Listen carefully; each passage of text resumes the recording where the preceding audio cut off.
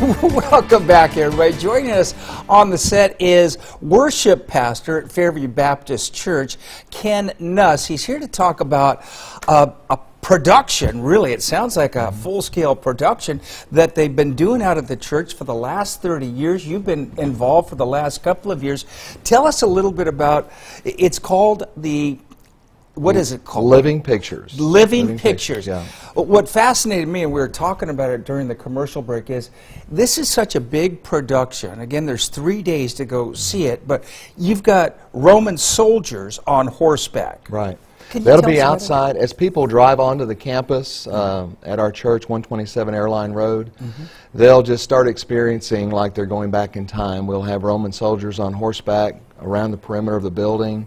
They'll come into the building. They'll be uh, just engaged with the set and the scenery. We've expanded all of that this year.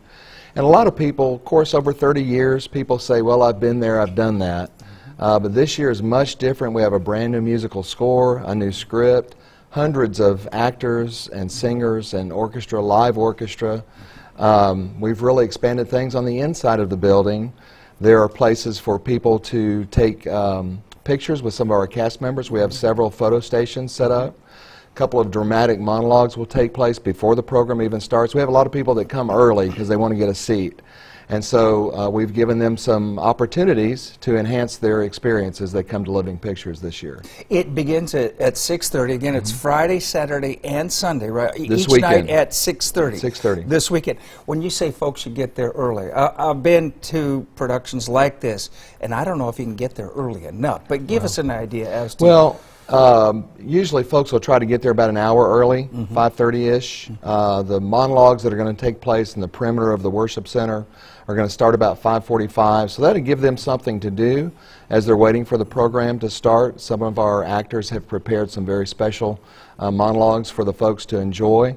And then again, like I said, they can take advantage of the photo stations and get some pictures with our cast members that are out there and not have to wait till the program's over to do that. They can do that beforehand and uh, just a lot of things. Um, very excited about the program this year. Some new concepts. We've also filmed some contemporary scenes that are going to parallel the biblical story. We've not changed the biblical story. The story is the story. Yeah. Uh, but we're trying to tell it in a new and in a fresh way this year. Pastor, thank you so much. Again, Thanks it is again, this Steve. weekend, Friday, Saturday, and Sunday at 6.30. How 6:30. long should people budget? As far as uh, time? the About program is going to about an hour and a half. Okay. About an hour and a half, yeah.